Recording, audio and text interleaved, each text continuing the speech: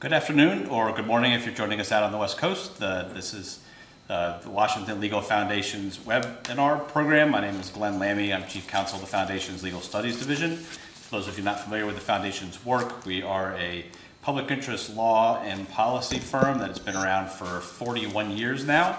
Uh, We get very active in the federal courts as an amicus and through original litigation to try to advance the uh, concepts of free enterprise and the rule of law. Uh, we're, we're very active in the space that we're going to be discussing today, and there's a great deal of resources of, of our work on our website. Uh, if you have a chance to take a look at it, it's www.wlf.org, and we're pleased to have all of you joining us today. Thanks to the inexorable growth of government in the 20th century and into this century, government contractors represent a significant part of U.S. business sales. As my colleague Greg Herbers wrote recently on WLF blog, while contracting with the government offers, quote, high financial rewards, it can also expose those companies to massive civil liability. That's what's in store for those who run afoul of the False Claims Act. Because of the law's suite, WLF has devoted considerable attention and charitable resources throughout its four decade history to shaping its application in court and educating the public. For instance, uh, most recently, we've been active in two cases involving the application of the Escobar precedent from the Supreme Court. One, one is the uh, Trinity case that's now on appeal to the, the Supreme Court. Uh, no decision yet on that one. And also in the Gilead case out of the Ninth Circuit, where the justices have asked for the views of the, the Solicitor General on that one uh, to see if they grant that particular case.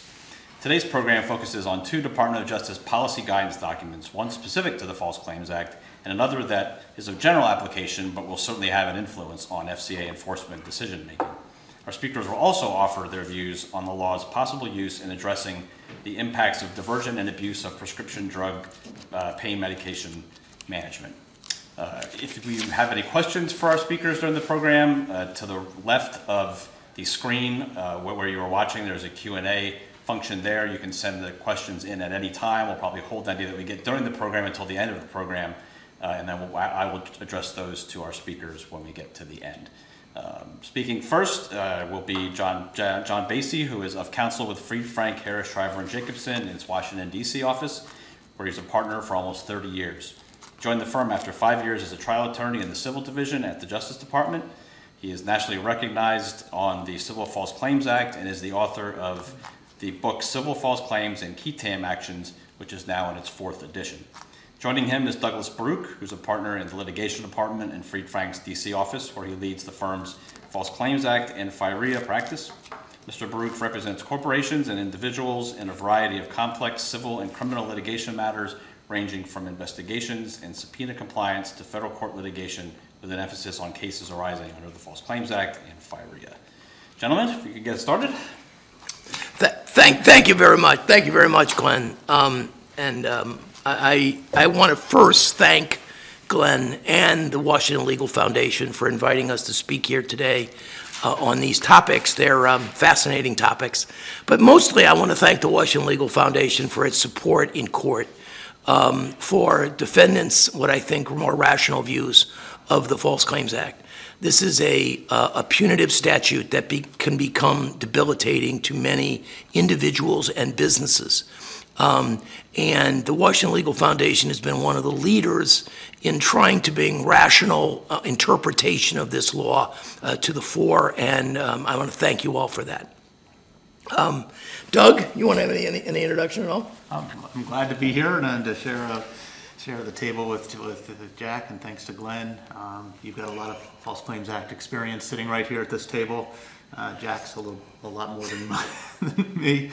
Um, uh, Jack uh, is the Dean of the False Claims Act Defense Bar. He's been my mentor at the, mentor at the firm. Um, What I know, uh, mostly what I know that's right is from him. All of what I know that's wrong on the False Claims Act is from me. from Jack. Right. Um, you- you- Many people have said that.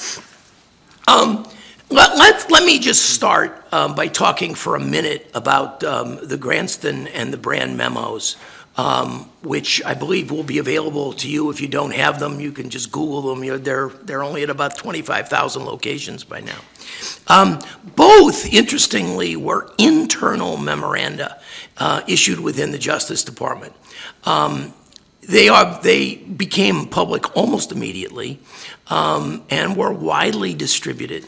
The Justice Department to date, I believe, has been invited on at least 12 occasions to show up at various seminars and sessions to speak about either the, the Granston or the Brand memo, and so far they have declined.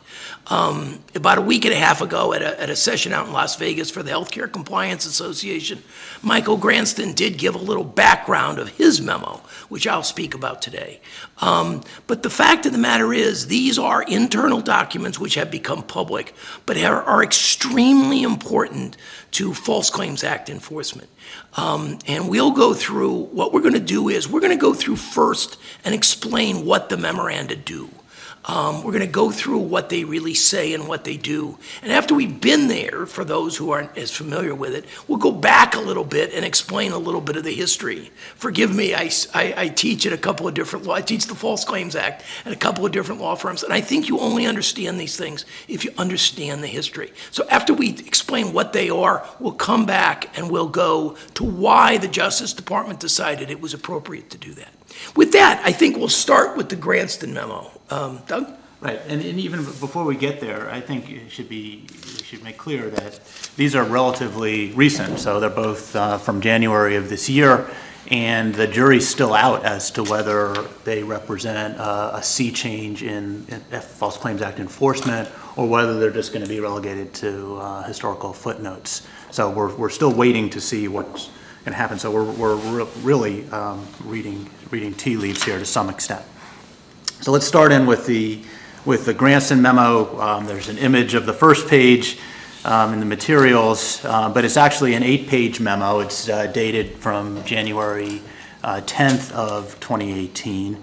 It's uh, for, for folks who are not steeped in Justice Department uh, uh, management. It's from Michael Granston, who is the director of the Fraud Section's Commercial Litigation branch, and that's the unit that has principal responsibility within the Justice Department for um, overseeing and enforcing the False Claims Act. Um, There's over 100 attorneys now in, in Main Justice here in Washington that, that handle False Claims Act matters. Um, But the memo that, uh, that Michael Granston sent out is, uh, is to all Justice Department attorneys who deal with False Claims Act matters. So that goes beyond Main Justice, and it goes, this was sent out um, as a message to um, lots of, uh, all of the U.S. Attorney's offices, because all of them have at least one or two, and many have several more attorneys dedicated to uh, False Claims Act enforcement. Um, The the memo, as uh, you may be able to read on the materials, it's actually marked privileged and confidential. Um, It was, um, uh, I think it was intended uh, initially for that, but it leaked, as Jack said, almost immediately. Um, uh, But the point is that it wasn't necessarily intended to be uh, made public. And it probably wasn't intended, just, uh, just guessing here, to be used by defense lawyers like uh, Jack and myself to argue against interventions. But it did cause uh, what is, I, I think, quite a stir in the False Claims Act world, and we'll talk about why. But at, at its core, the memo itself from Granston to all attorneys dealing with False Claims Act matter is a reminder to, uh, to everyone that the Justice Department has both the statutory authority and the responsibility to dismiss non-meritorious False Claims Act qui tam cases. And the qui tam cases, for, for those of you who aren't familiar, um, are the cases brought by private parties in the name of the United States. That's what this memo is about. Whether and, and how to exercise statutory authority and responsibility to dismiss uh, qui tam cases that have been filed under the False Claims Act. And um, as we see it, uh, what, what, what Michael Granston is doing through his memo is telling the department that it should be using this dismissal authority much more frequently than it has in the past. So um, we have here the, uh, the dismissal, where the dismissal authority comes from. It's actually been in the statute since, uh, since 1986. And again, we're dealing with, only with qui tam cases. And section 3730C2A. Uh, It's very simple. The government can dismiss, may dismiss the action notwithstanding the objections of the person initiating the action, meaning the qui tam relator, if that person has been notified by the government of the filing of the motion and the court has been provided, the court has provided the, op- the person with an opportunity for a hearing on the motion. That's it. It's very short, it's very simple. Um, There's no statutory dismissal standard in the, in the text. There's no specific grounds for dismissal in the text. There's also nothing um, about when this statutory authority can be exercised. It's not limited to the beginning of the case, it's not limited to the middle of the case, it's not even limited to uh, potentially dismissing the case when it reaches the appellate stage. Um, And there's nothing in the, in the statute itself that says the government has to move to intervene in the case in order to exercise its dismissal uh, prerogatives. So there's, it's, it's very short, it's very simple, and it doesn't seem to restrict the government very much in terms of what it can and, uh, and, and and is able to do. So uh, courts have developed a, a couple of different standards, even though the, the, the, the use of this has been uh, rather uh, rare. Uh, The court has developed some standards for reviewing government dismissal motions under this section. Um, there- There's two standards. Uh, The first was developed in the Ninth Circuit in the Sequoia case, and um, there the court developed a two-part test, and it was, um, is there a legitimate government purpose for dismissal? That's test number one. And test number two, is that, is the dismissal rationally related to that government purpose? So that's, um, that was one standard set. Um, Then, then, uh, then the DC Circuit came along a few years later and specifically rejected the Sequoia standard and essentially held that the, the government has an unfettered right to dismiss a qui tam action, essentially an unreviewable right to do so no standard, no, it doesn't have to be rationally related to a government purpose, the government doesn't have to express uh, its reasons for, for doing so. And that's, that, um, that standard was, the, the the Ninth Circuit standard was, was adopted also by the Tenth Circuit in the Ridenour case, which Jack knows about uh, pretty well. Um, And I don't know if you want to comment on it. Yeah, I'll, I'll spend a minute on Ridenour because I think it's important for everyone to understand why the Justice Department doesn't do this more.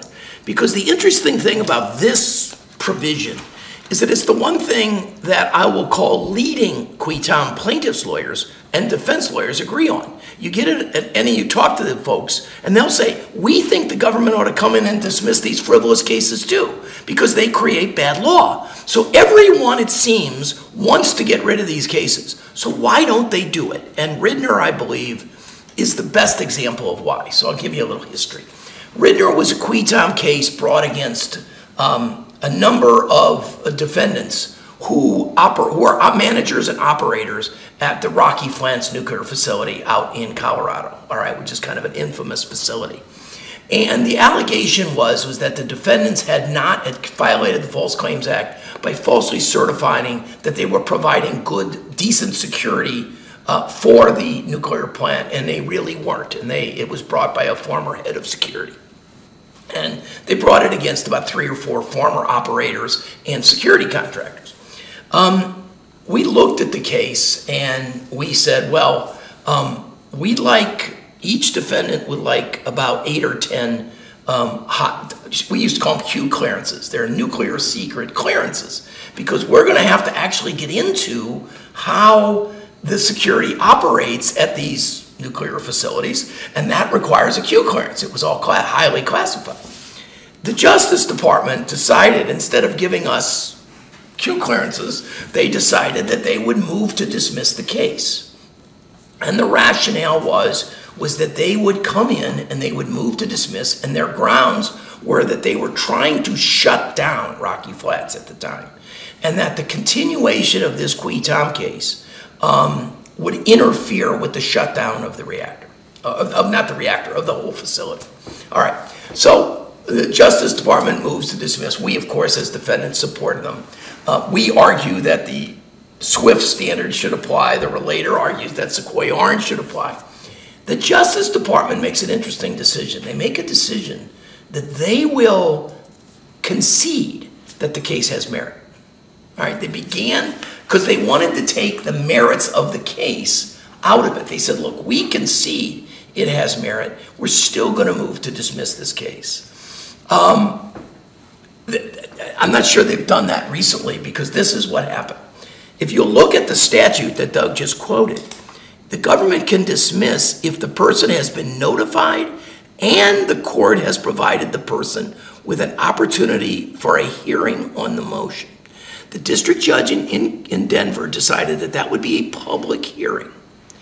And for two weeks, I sat in the audience and I watched the qui tam Relator's lawyer crucify the Justice Department and the Department of Energy for their decision to dismiss this case. Moreover, it was above the first page, above the full news in the Denver Post every day.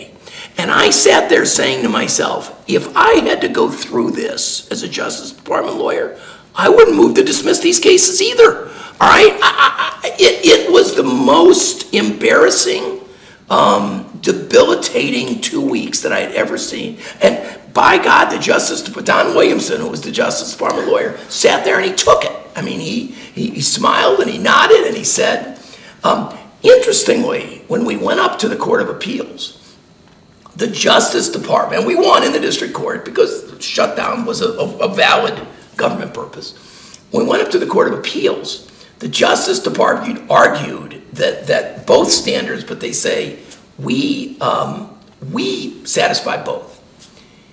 The defense made an additional argument, which the Solicitor General would not make. We argued that if the district court did not dismiss the case on the motion of the government, then the qui tam enforcement was unconstitutional. We argued that if, if part of reason why the qui tam statute is constitutional is that the government has the power to come in and dismiss these cases. And if the government came in and would not dismiss them, then it was unconstitutional. Well, they, the, the, the 10th Circuit didn't read, 11th Circuit, 10th Circuit didn't reach that issue. But um, I, I just wanted everyone to understand when you, when you wonder, why doesn't the government do this more? The Ridenour case is the best example of why they don't do it more.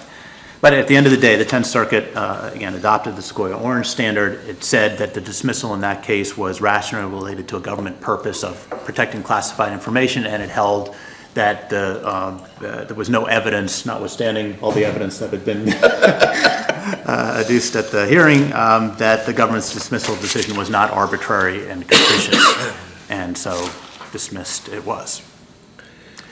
So what does the, what does the Granston memo say? Um, You'll all have a chance to look at it if you haven't already. It's eight, as I said, it's eight pages. Um, But it starts with a, a list of precedents, which are actually um, examples of prior use, um, which even Granston had to uh, admit was sparing. Um, And, it- but it, it notes that um, dismissal needs to be considered when it's evident that the case lacks what he referred to as substantial merit.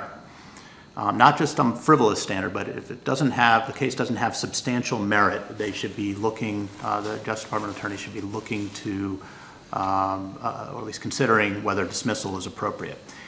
And uh, then he goes through bases for dismissal, all of which um, had been uh, used, had been used up to that point. There's seven of them. But he says that's not a- an exhaustive list. There are other circumstances that could arise that could, uh, could justify dismissal itself. But going through the, the seven bases, he has a section on, on each of these. The first is curbing meritless qui tams. Um, uh, Those are what he describes as uh, complaints with allegations that are inherently defective or frivolous, or they uh, lack merit after the- the government has in- investigated. Then he goes through, um, the next one is preventing parasitic or opportunistic uh, qui tam actions. There, um, he's talking about, in, in some instances, serial relators or cases that bring no added value, or um, instances in which the allegations are already known to the government and would result in, in, in what he refers to as an unwarranted windfall to a relator. And this is, this is, the, the government has used this a lot more than anyone thinks, because many times they use this while the case is still under seal. In other words, the government will go in, if there's a second qui tam relator and they don't satisfy the first to file bar, they will go in there and they will move to dismiss. And instead of moving to dismiss under first to file, they'll simply move to dismiss under this provision of the statute, saying we have a right to dismiss it. They also use it to force qui tam relators to cooperate with each other. In other words, they'll say to them, if you don't do this, um, I, I'll, we'll, we'll just move to dismiss one of them, so. Right. And then you have some practical considerations that he says could justify dismissal, preventing interference with agency policies and programs. Um, Ridenour is a good uh, example of that. Um, uh, Trinity is one he specifically cites um, as, as, as, as a basis for considering dismissal when it's, it's possible that as a result of the qui tam action, you may have the manufacturer of a much-needed good or service um, exit the industry as a result of uh, bringing, bringing suit that uh, it may not be, be fair or appropriate. And then uh, he has uh, controlling litigation that's brought on behalf of the United States. That, that's what essentially he's talking about there is instances in which the qui tam action will interfere with other litigation that the government is, uh, is, is pursuing. So sometimes the government will, will inter- intervene in only a portion of the claims, leaving some of the claims to be uh, litigated by the relator. If those are going on at the same time, in particular, those can really cause problems for, for the government because you can have inconsistent uh, positions being taken. Safeguarding classified information, national security interests, obviously that's uh, Ridenour again there. Um, and, and what he's saying there is the mere risk of disclosure. You don't have to prove that there would be some disclosure of classified information, national security information in order to justify dismissal. The mere risk should be sufficient, is what he's telling uh, government attorneys. Preserving government resources. So if you look at a case and you determine that, uh, the government evaluates the case and determines that there's really no damages here, um, why should the government be spending a lot of money and, and resources pursuing or, or even monitoring the qui tam relator's pursuit of that case? That, that makes a lot of sense to us. And in addition, preserving resources in those circumstances also mean, um, means uh, avoiding uh, potential discovery obligations, because even if the government is not actively involved in, in pursuing the case, you still have a situation where um, there could be uh, obligations on the part of the government or agencies to have to, to uh, respond to discovery requests. And we'll talk about that in just a minute when we talk about the effects of, that, the Es- the Escobar effects on this memorandum. And then the last, the last category that he has is uh, addressing egregious procedural errors. And what, I think what he's referring to there are relators who don't play by the rules and who um, expose the allegations before the government's had a, a full chance to investigate them. But then he has a CF uh, State Farm. Which, which is. Yes, my case. Which he appears to That exempt. WLF filed an amicus brief for us, but, um, So then, uh, the- what, what what are the, what are the practical effects of the, the Granston memo? Um, uh, Really, I think what he's attempting to do is to um, uh, develop some discipline and some rigor to the intervention decision and, and force attorneys to, to focus on whether dismissal should be pursued in, in appropriate cases. Um, uh, I- I- There's other, other items here, Jack, I don't know if you want to weigh in, but uh, we'll, we'll get to the, just, I think it's important to talk about the drawbacks too. And it should be clear that the, Granston is not saying that this is mandatory, that you have to dismiss when one of these circumstances uh, arises. So he's not giving um, clear direction that they must dismiss or they must explain why they're not dismissing. He's just reciting instances in which dismissals have happened in the past, where the, where the authority's been um, exercised, and saying, consider those in cases going forward. Um, uh, The government, of course, uh, the Justice Department gets 3% of every False Claims Act recovery, so that's uh, an incentive against uh, uh, dismissing cases uh, that that don't, won't won't use up a lot of resources. And then a serious concern is that relators are going to argue that now with this memo out there, in instances in which uh, the the Justice Department has not moved to dismiss, notwithstanding the Granston memo, that means by definition that the, the case does have merit. And they're going to be signaling that to the court. And in fact, as recently as, uh, as the last couple of days, in a Supreme Court uh, uh, brief, one, a relator made that, uh, made that argument. Right, it's worth just quickly um, quoting the brief of the qui tam Relator in the Gilead Sciences case that I think WLF is also in. It says, um, "The FCA includes an important safety valve allowing the government to dismiss a qui tam case even over a relator's objection. Um, The government considers exercising its authority when a suit interferes with the government's policy or the administration of its programs, see the Granston memo. So Gilead is thus wrong to where, argue that the decision below moves regulatory authority from the federal government to private litigants. In other words, so we're starting to see the argument that the Granston memo is an indicator that the government thinks the suit does have merit. So that, well, we're, we're lawyers after all. I mean, that's what we do. We twist things around. But, but the fact of the matter is, is that everyone's going to have to understand that that's a big issue. That we're going to be facing more and more. So we want to move on to the, the brand memo. Yeah. Do you want to? So I'll spend a minute on the Brand memo, which is about one-tenth the size of the Granston memo. Um, And, in the Brand memo, which you have, again, the cover page was issued on January 25 of 2018. And unlike the Granston memo, which is really a substantive, a, a, a procedural memo, in other words, it says this is your rights, this is what you do in order to dismiss one of these cases, and you ought to use it. The Brand memo is substantive. I mean, it goes right to the heart of what is the violation of the False Claims Act. What can the government use to argue that, that it's, that there's, a False Claims Act has been violated? So let's, let's talk a minute about that, um, um, because it's worthwhile just understanding why they would need to do this. So let's go in, as soon as I pull it out here, to see what Brand, what, what Rachel Brand, who has since left the government. Um, and I also think it's quite interesting that she, she issues a memorandum saying to government lawyers that they can't use things like memoranda and agency guidance, and she does it by memorandum, all right? It's, it's always an interesting, I guess it's internal agency guidance, um, but we'll, we'll see.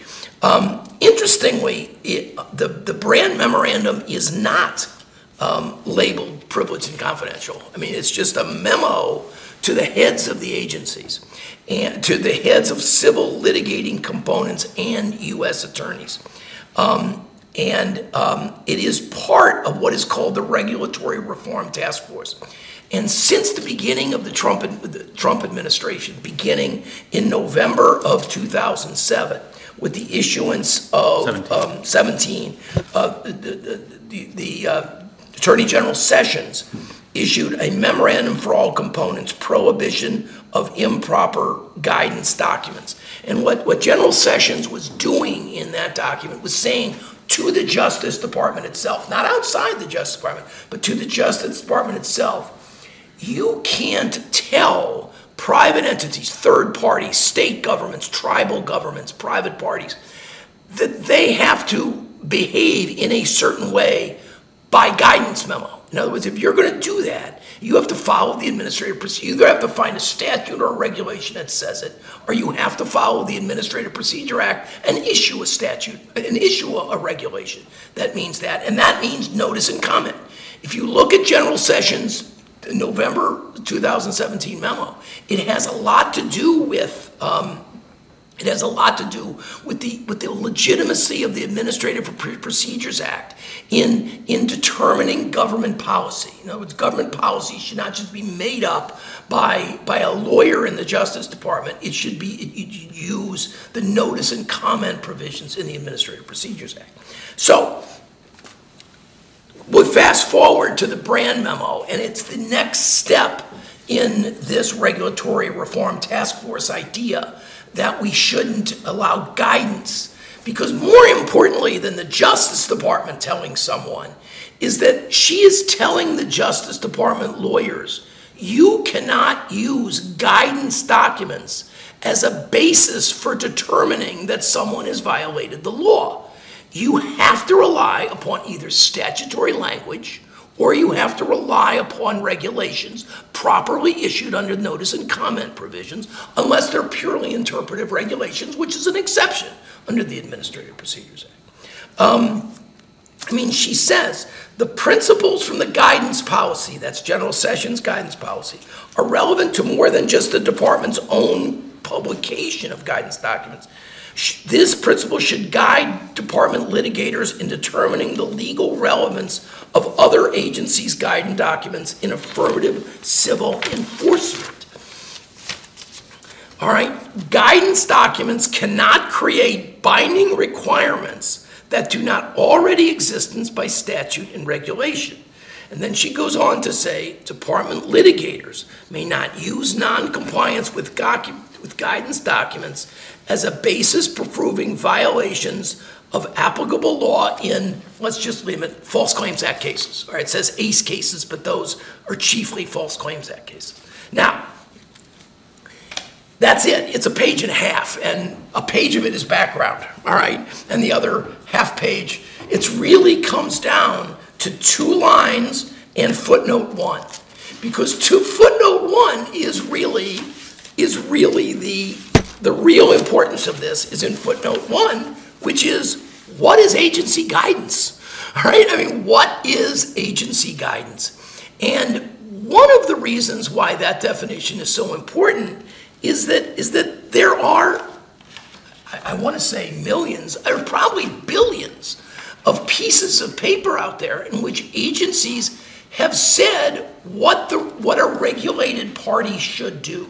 In other words, it's not all in the CFR, it's not in regulations, it's not certainly in the statute, it's in page after page after page of documents which agencies issue. In some cases, for example, at HHS, um, it's not even the agencies themselves. It's the contractors uh, who actually pay the bills. It's the uh, it, it, there are there are documents out there that that are too voluminous to even talk about.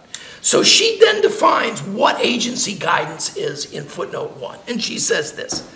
It's an agency statement of general applicability and future effect. All right, I, I, I agree with that.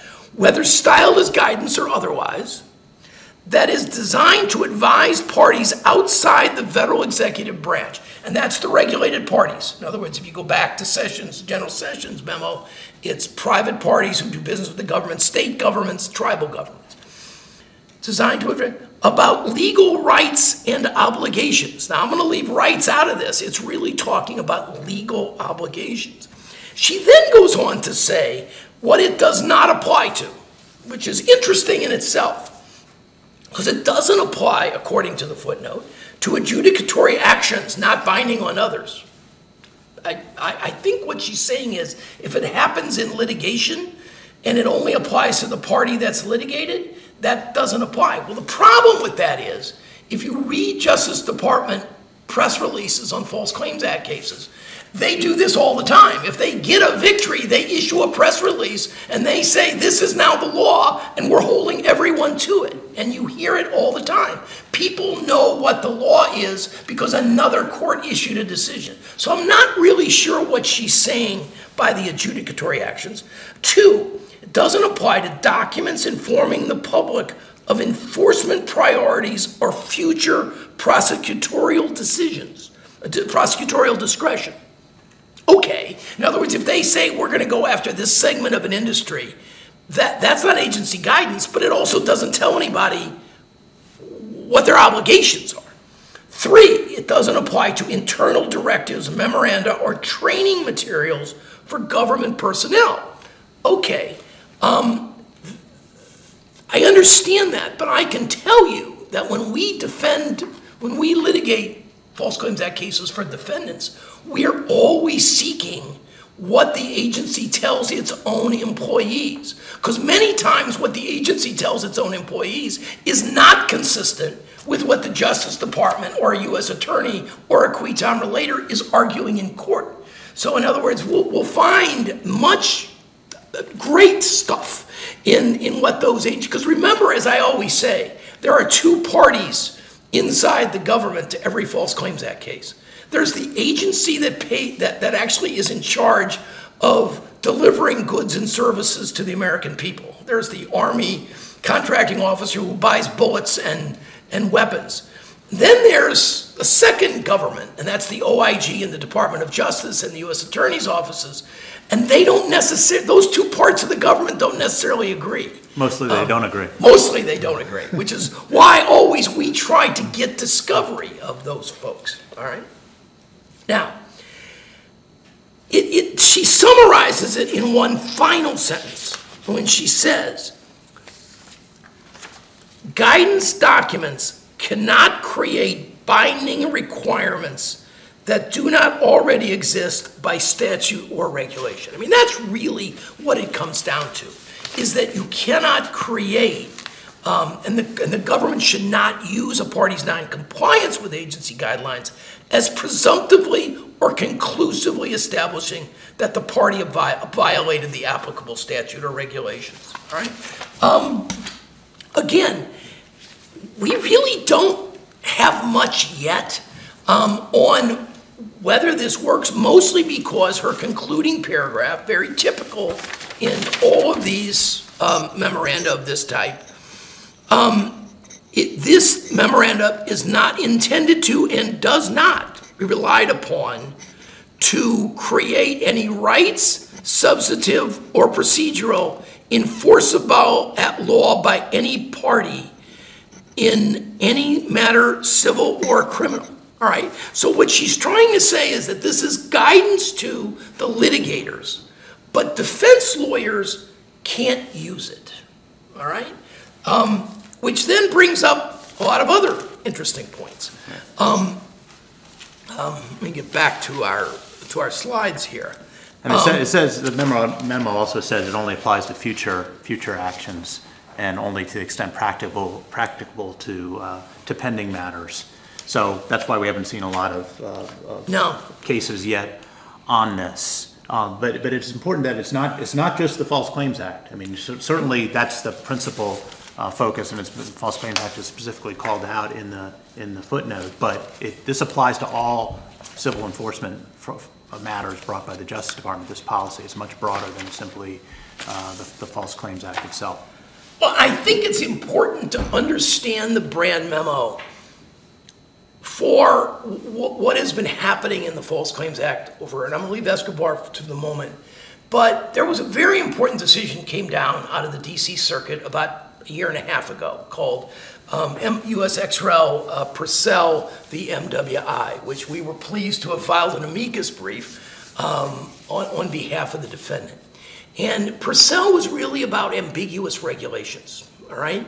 And, you know, what we are seeing more and more in a lot of these cases is that, that the government makes a decision that it doesn't want to provide clear guidelines. Um, for example, we're seeing this in a lot of the healthcare cases involving what's called reasonable and necessary. Under Medicare and Medicaid, the government pays a reasonable and necessary cost. Um, the government takes the very specific position that it does not define what reasonable and necessary means, because they say you have to look at that in, in every single case. The importance of the Purcell case, when that involved the definition of what was, oh boy, what was regular commission. reg- A regular commission that could be paid, because, because the defendant had certified to the Ex-Im Bank that it had not, it had paid only regular commissions. Um, and it had pay only regular commissions in obtaining this contract from some, from a, from some foreign government. Um, the question was, what does regular commission means? All right, and everyone was running around trying to find out how the agency had defined regular commission. And ultimately, there was no real good definition, and a substantial jury verdict uh, was overturned by the DC Circuit on that ground. But we have to think now about what agents, what, how does those am- interpretation of ambiguous regulations fit in with the Brand memo and the prohibition on using agency guidance. I mean, can the agency really give an interpretation which is far beyond what the statute or the regulation or the contract actually really says post the Brand memo? I don't know. And if the government thinks we defense lawyers aren't going to use that, they're out of their minds, all right? Um, they're going to make the argument, and we're going to respond in our briefs. Um, that's precisely what the Deputy Attorney General told you, Associate Attorney General, told you not to do. That's beyond the power, and that's how you should interpret these regulations. So we'll see. The, the, the other, I guess, real um, issue is whether or not it's enforceable against qui tam cases um, that the government doesn't intervene in. Remember, the Brand memo is focused on government litigators. If the government declines to intervene, there is no, quote, government litigator formally in that case. Uh, it's being litigated by a qui tam relator's lawyer, all by him or herself. Um, so the question, I'm sure that the qui tam bar is going to argue that Brand doesn't apply to them. And to that, I would only say this. I hope you do that because it's going to elevate the importance of Brand memo. It's going to important the elevation of, of, of, of, non-use of agency guidance in the court's mind. In other words, I think the, the, the argument that the, the best argument for the government and for relators is this isn't agency guidance, because frankly, I don't know what, based on these definitions, I don't know what agency guidance is. Well, I think there's, an- there's an argument to be made, and we have, to we have to move on very quickly here. Yeah. But there's an argument to be made that the, the government, had they followed, had the Brand memo been in effect, um, the Justice Department would not have been able to recover billions of dollars against the housing industry, the, um, the, the- the the FHA uh, lenders um, in, in those cases. All of those cases were predicated on the presumption that, and the allegation that the uh, lenders were not complying with the FHA handbook, which by definition is guidance. And the, the loan origination uh, practices of these lenders were not in accordance with the FHA handbook. And absent that, um, uh, the use of the handbook um, in those cases, um, they, the the Justice Department really had nothing to go on. And so there's really, uh, this, this Brand memo has, if you just take those cases alone, every, every top 10, top 10 lender is still one case pending against Quicken, but every other uh, lender has been in the, has been targeted by the Justice Department for enforcement of an agency guideline, namely the FHA handbook. And uh, most of them, I think almost all of them have settled for Yeah. substantial amounts of money. And there's a question about whether any of that was, was proper or would have been proper under the Brand memo. Yep. Let's skip forward. We're at, we're at 22. Um, let's skip forward real, real first, because we really want to talk about, their, their, you, you, now that we know what they do, let's just talk about why they were issued, because that's important to understand. Let's talk first about the organizational reasons.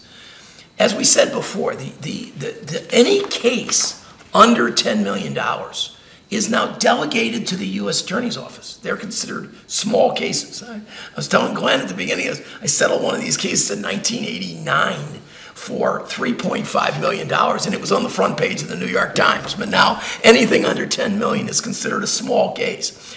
So part of the reason for the Granston and the Brand memo was to give guidance to the U.S. attorney's offices who are essentially doing many of these cases on their own. There's also, um, um, you know, there's a lot, a lot of factors in intervention and settlement decisions that these U.S. attorneys' offices should know about. So that was the, my view, the organizational reasons. More importantly, I think, are what I call the legal reasons for the Brand and the Granston memo. And if, if we could click forward, I, I love this chart. Um, um, I love this chart. This is, I always say to people that if you know this chart, you know more about the history of the False Claims Act than 90% of the lawyers who litigate False Claims Act cases. Because it goes from the passage in 1863 all the way through Escobar.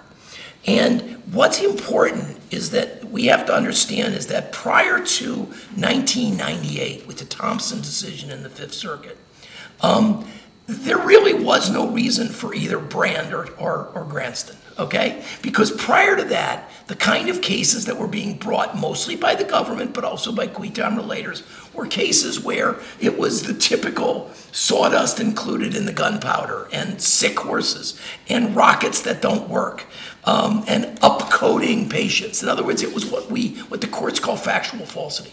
beginning in 98 and culminating with the Escobar decision in 2016, we saw the rise of false certification cases. Not just ex- applied, but both express and implied false certification cases, where que- mostly qui tam relators, but also the government, were using violations of the law even though someone had actually delivered the goods and services. I mean, the, the patient got the health care, the army got their, their missiles, but some other ancillary law was violated, and there was a false certification. And with that, with this development, we saw more and more and more cases that were brought which interfere with government programs. Most decidedly, the U.S. ex rel. Harmon v. Trinity Industries case in the Fifth Circuit. I mean, there couldn't be a, a greater example of a case that interfered. This was a case where the FHA and the Justice Department told the parties and the court, we think the product being delivered by the defendant is terrific. We think it, it complies with everything we want to do, and we think it's important to highway safety. And yet, a jury in East Texas, a six person jury in East Texas, issued a $660 million judgment against the defendant. And thank God that Trinity Industry had the guts to, to stand up to this. But those are the kind of cases that the Granston memo was, was targeting. It was targeting cases that really didn't have to happen before 1998 and the growth of the false certification theory of liability. Right. And one, one more point on that, and then we'll get to opioid, which is this. Because of the Escobar, remember in Escobar, what, what the court ruled was that the government knowledge and government payment decisions were critical to a decision of whether a violation of the law was material and would render an otherwise true claim to become false. The government is starting to see more and more discovery of the government in unintervened cases. Now, I can't think of anything more important than the government not wanting to have their people deposed on what they did. And in fact, if the Granston memos, where people are actually now talking about taking the, gov- the testimony, depositions of DOJ employees as to why they didn't move to dismiss or did move to dismiss a certain case. Do you get discovery? Michael Granston did disclose at our conference that they are fighting a case where when they move to dismiss one of these cases, someone is seeking to take the deposition of government officials as to their, the, the reasons why they are moving to dismiss that case. So this concept of government, of discovery of the government in declined cases is even one of the more compelling reasons for the Granston memo. Okay. So we'll just spend, we'll just spend one minute on, um, on the opioid initiative. It's, it's, it really has nothing, uh, to do with the, the Brand memo or the, or the Granston memo, but it is, it is a new initiative. It, um, is, uh, essentially telling the Justice Department that it should be using all resources to go after the opioid crisis, including the False Claims Act, um, where, where, where appropriate. Um, and, and the Justice Department is really, uh, pouring resources into the, into this effort. Um, There's been some precedent for going after manufacturers uh, and and wholesalers um, in the, in the controlled substances space. Um, There's settlements from Costco, settlements from uh, McKesson. Uh, But there's a a new initiative out there. Uh, Some AUSAs have been sent uh, out to various offices. uh, Other enforcement teams have been established. But uh, for, for present purposes, really, this, this is one of the first occasions where the False Claims Act is being used to address what is essentially a healthcare crisis. And there's a question uh, at the outset that many of us have as to whether that's really what the False Claims Act should be used for. Um, uh, Remember, the False Claims Act is out there to protect the government against damages, monetary losses as a result of false claims um, uh, submitted to it.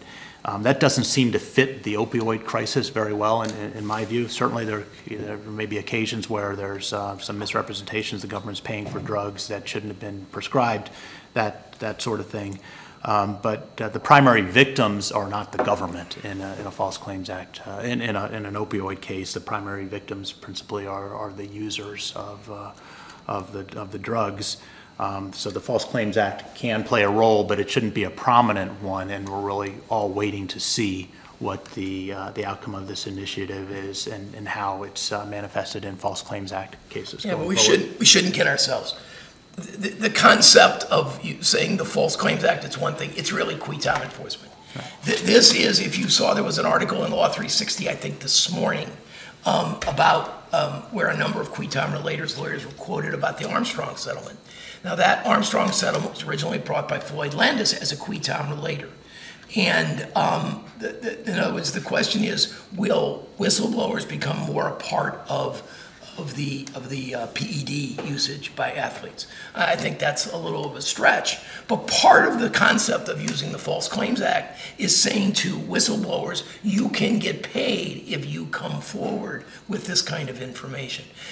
You know, I, I, that, that's just a fact of life that we have to live with. Um, um, the most powerful part of the False Claims Act is, other than its treble damages and penalties, is the fact that you pay for snitches. You pay for people to come forward with, uh, with allegations of wrongdoing. Even if 80 or 90% of them are wrong, that other 10% is important. So, that's it. Any questions, Glenn? Thanks, gentlemen. We do have a few questions from our online viewers. If you do have a question now, you're welcome to write it up there on our template, and we'll ask it to our speakers. Um, One question that we got is, how does one distinguish between agency guidance and interpretive regulations assigned to agencies under the Administrative Procedure Act? I wish I knew. Um, The Brand memo does not, the, the the General Sessions memo goes a little further on that. Um, And I would, I would refer the, the questioner to General Sessions memo because he talks about interpretive guidance. Um, I, I think that, that guidance documents, the definition that she gives in the Brand memo is just, it, it, it, it doesn't tell us much. And um, I think there's a better argument. In other words, there's a, there's a, under the Administrative Procedure Act, there's an exception for interpretive guidance or interpretive regulations. Um, I know that because I lost a major case that cost the government a billion dollars. That's back in 1974 when I was defending the government as a civil division lawyer. Um, but nonetheless, um, I think if these are valid regulations, in other words, they're valid regulations under the APA, however you get to being, whether you use notice or comment or the interpretive rule exception, if they're valid regulations under the APA, there's a better argument that they're not agency guidance. A question from an online viewer with regards to another memo that we haven't discussed, the Yates memo. Um, What changes in enforcement have you seen or do you expect to see under the Trump administration with regards to the False Claims Act and the application of the law to individuals rather than companies? Yeah, I- again, I think it's it's probably still a little bit too early to tell. I think we're still working through the cases that were investigated and brought, and so that we're still seeing some individuals being, um, being pursued and, and some resolutions uh, against individuals as a result of the the Yates memo. Whether the, they're going to continue to go after individuals going forward, um, I don't. Yeah. It It- it remains to be seen, Jack. In a recent program, I heard a government lawyer say that the word Yates is no longer used, and it's now the deputy attorney, the former deputy attorney general's memo, um, because um, um, um, the Deputy Attorney General Yates had some issues, so we don't use her word, name anymore. Michael Granston did announce at our HCCA program um, that the Yates memo was under review. Um, Apparently, um, Deputy Attorney General Rosenstein has announced that all of the memoranda that the government has issued are now under review, and the Yates memo is one of those. Um, We can spend another hour talking about the Yates memo and whether or not it is, um, it it is more, it's more important in its violation than, than, than it being followed. Um, I mean, Doug, when you settled the, um, we, we represented a major um, um, mortgage bank uh, for a case that settled for a whole lot of money. Um, And what, what, what was the settlement for the individual? There was one individual, some poor woman. Can we disclose what, what was in the It settlement? it wasn't, it wasn't- wasn't a woman, but it- the the settlement was, was a global settlement. We were able to get uh, essentially the Yates, Yates memo to be uh, exempted because we started the negotiations before um, it was put into effect. But it did, it did play a role in that, and I know it's played a role in, in cases going forward. and It's actually been an impediment to settlement Yeah. uh, in, in many instances. And I, again, that's an issue I think that many qui tam lawyers agree with. that, that, that the Yates memo is an impediment to settlement. This is a statute that's supposed to recover money for the government, not punish people. That's not what it's supposed to do, and that's what the Yates memo. So among the many other reasons that Sally Yates should be investigated for ethics violation would be, um, would be the fact that she used this to, to punish people, and it's not intended to be punished. The factors that you talked about from the Granston memo, it says in the outset that these are not, not necessarily the only factors that would be considered. There may be additional factors. Are there any that you could see going forward that might be considered by the Justice Department or U.S. attorneys other than those seven? Wow. I, I, I can't think of any, I mean, it's pretty, matter of fact, they're, they're duplicative, if anything, okay? I, I, I've always thought that if you can't find something in one of those seven, for example, my Ridenour case probably fit under three of those. Um, the three of those going forward. Um, I, I, I think that, that, um, there, there will be, there will be increased use, and I think increased litigation, and we'll see. But I, I can't give you any more right now. Right, and, and just as a tangent to that, it's not directly responsive, but I think there's, there's concern out there that it's not going to be applied uniformly. What one U.S. Attorney's Office considers to be um, a, a drain on resources may not be the same um, if the same facts are presented in another jurisdiction. And so that's patently unfair to one, one defendant in that circumstance. So um, there, there's a question about the uniform application across the offices and even, within the Justice Department itself. I, I, and I'm, I, I- I apologize for this, but I thought there was something at the end of the memo that said that they want to be, inf- Main Justice wants to be informed um, when a U.S. Attorney's Office does this. Um, So I think that they're going to try to keep control over who's doing what. Um, And I'm sure that um, one member of the Senate um, Judiciary Committee is going to be asking the Justice Department um, um, for what, what, what's happening as a result of this. I would imagine that one of the sort of underlying factors that wasn't necessarily stated directly would be that, that they would be interested in getting rid of cases that are going to create bad precedent for the government to have to deal with in, in their own enforcement actions in cases that are brought by, by relators. Is that something that you see sort of underlying some of this? Absolutely. Absolutely. I mean, literally, if, you read the Fifth Circuit decision in Trinity Industries, and I can't imagine the government ever wanting, I mean, they're going to have to live with that for a long time. And that's true of all the other, the spray, the CVS Caremark decision. I mean, you look at those decisions and you say, you know, what in the, what in the world was, was the qui tam relator thinking by, by, by prosecuting these cases? I mean, and now taking it to the Supreme Court, that's got a good chance of success. One thing that we didn't talk about is that there obviously are 50 false claims acts at the state level, or at least I'm not sure if that there's that many, but there are some. Have you seen state attorneys general acting a little bit more aggressively in, in getting rid of cases that have been filed under state false claims acts or, or, or intervening and dismissing, um, or is that not quite got there yet? We actually um, got involved um, for the chamber um, in supporting um, the state attorney general in Florida moving to dismiss a case. I think it involved Honeywell, if I'm not wrong. It's been a while. But we filed an amicus brief on behalf of the chamber um, supporting them, and that case was eventually dismissed.